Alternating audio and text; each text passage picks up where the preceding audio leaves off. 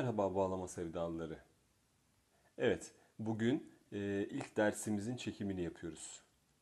E, bağlama eğitimi noktasında belirli bir aşamaya gelmiş ya da yeni başlamış, birkaç ders almış. Fakat e, daha sonradan e, bırakmış, doğru eğitimini bulamamış ya da zaman bulamamış kişilerin birazcık evlerinde haşır neşir olması açısından e, bir bağlama temel eğitim başlangıcı yapmayı planladık. Ee, inşallah sizler için faydalı olacağını düşünüyorum. Şöyle ki bugün e, bu birinci dersimizdeki ilk türkümüz Bilmem şu feleğin bende nesi var türküsü olacak. Ee, bu sebepten dolayı ben bağlama üzerindeki notaların yerlerinizi bildiğinizi düşünerek, bağlamanızın tutuşunun nasıl tutulduğunu bildiğinizi düşünerek derse başlıyorum. E, bu aşamada direkt e, türkülerin notalarıyla başlayıp mızrap vuruşları yönlerini öğreneceğiz. Doğru parmak numaraları kullanmayı öğreneceğiz. İnşallah çok çalışmayla da kısa sürede e, verimli dersler elde etmiş olacağız. Evet ilk başlangıcımız olarak Ankara kalıbı yani 1.8'lik 2.16'lıktan oluşan bu Ankara kalıbının sağ elimizdeki mızrap vuruşumuzun şeklini göstermek istiyorum.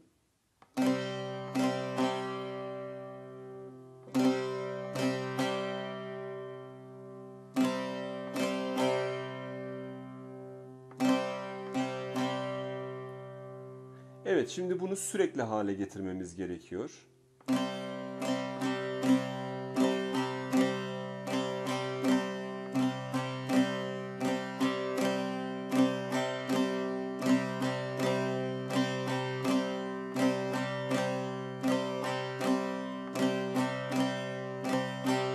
Evet, buradaki mızrap yönlerimize baktığımız zaman iki aşağı bir yukarı şeklinde olacak. Şimdi bizim öğreneceğimiz Bilmem şu feleğin bende nesi var türküsünde ise bütün notalar bu kalıpla çalınıyor. Evet, doğru duydunuz. Sadece bu kalıpla bir türkü çalıyoruz.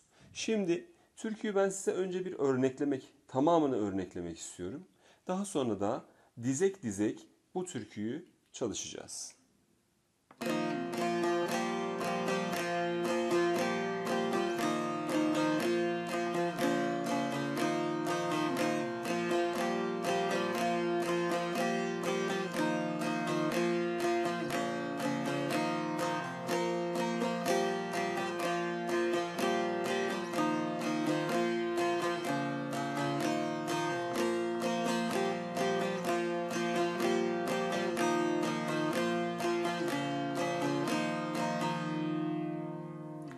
Evet, türkümüzün tamamı bu kadar. İsterseniz hemen birinci dizeğimizle başlayalım. Do'ya birinci bir numaralı parmağımızı yerleştiriyoruz. Notada da gördüğünüz gibi aşağıda Do, Re, Re, 1 ve 1 numaralı parmaklarla çalınıyor. Do ve Re, Re kısmı. Şimdi buradaki tek fark, tek ayrıntılı nokta burası.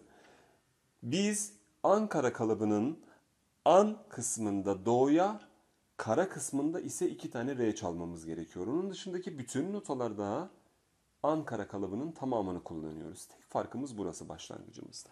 Hemen gösteriyorum. Evet, tekrarlıyorum. Evet, şimdi devamını çalacak olursam Evet, ne yaptım?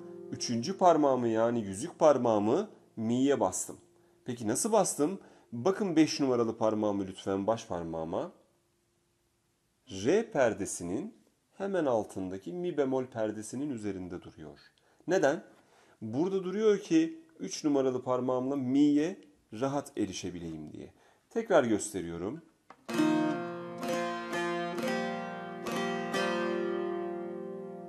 Bir de dikkat etmenizi istediğim bir husus var ki bu çok önemli. Lütfen bağlamamızın perdelerine basarken aşağı kısımlara doğru basmaya çalışalım. Ne kadar yukarı basarsak buradaki aralığı o kadar genişletmiş ve basmakta zorluk çekeceğimiz bir hal alacaktır bizler için. Tekrarlıyoruz başından itibaren. Do, re, re, mi, mi, mi. Evet. Bir daha tekrarlıyorum. Do, re, re, mi, Şimdi devamını çalalım.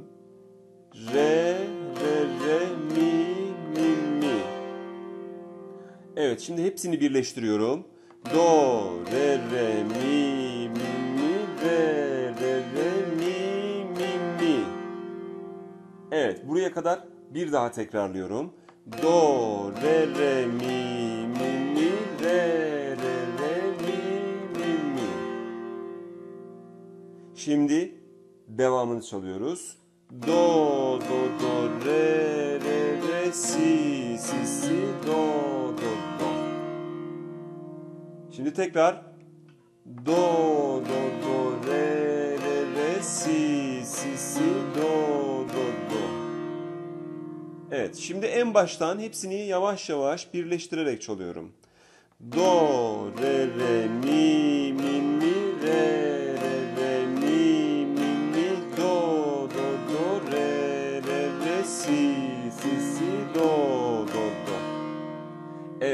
birinci dizeyin tamamını çalmış oldum bu sayede. Ve burada dikkat etmemiz gereken şey ise parmak numaralarımız. Tüm notalarımızın altında kaç numaralı parmağımızı kullanmamız gerektiği yazıyor. Lütfen dikkat edelim. Doğru parmak numaralarıyla çalışırsak gelişimimiz daha kolay olacak. Geldik ikinci dizeyimize. İkinci dizeyimizde ise türkümüz sol sesine iniyor. Sol sesine ise dördüncü parmağımızla yani serçe parmağımızla basmamızı isteyeceğim. Burada pozisyonumuz 4 ve 1 olarak şekilleniyor. Evet şimdi en baştan çalıyorum ve ikinci dizeyi birleştiriyorum.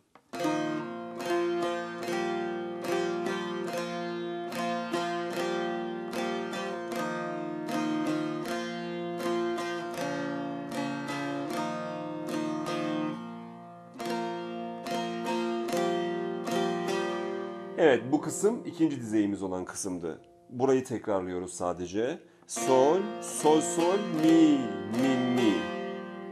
Tekrar ediyorum. Sol, sol, sol, mi, mi, mi. Son kez tekrar edip devamını çalıyorum. Sol, sol, sol, mi, mi, mi. Re, re, re, mi, mi, mi. Evet. Devamı da böyleydi. Sol, sol, sol, mi, mi, mi, re, re, re, mi, mi, mi. Tekrar ediyorum. Sol, sol, sol, mi, mi, mi, re, re, re, mi, mi, mi. Geri kalan kısmı do, do, do, re, re, re, si, si, si, do, do.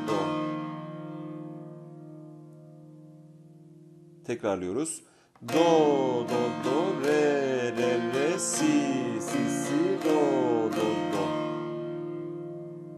Şimdi ikinci dizeyimizin tamamını yavaş bir tempoda çalıyorum.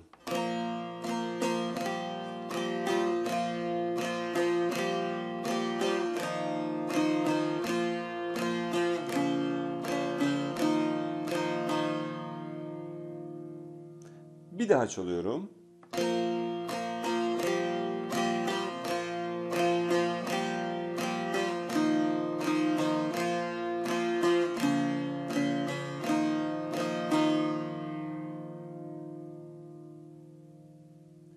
Evet, burada dikkat etmemiz gereken bir şey ise bence doğru olan bir uygulama olduğunu düşünerek söylüyorum bunu.